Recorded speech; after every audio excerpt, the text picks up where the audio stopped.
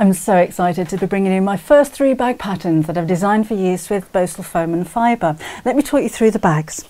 So first of all we have the Shelley bag which is a really cute little satchel. It looks great in any type of fabrics as well.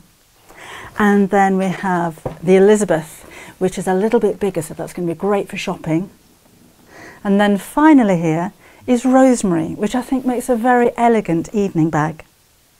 Now in each one of these packages you will have your full step-by-step -step instructions with photos. There's also a link to a video so you can sew along with me and you have your full-size pattern which you use with Bosal foam. And if you wanted to, you could also purchase the pre-cut shapes from Bosal. And that's going to make your bag making even easier. I hope you enjoy making the bags and I can't wait to see your pictures.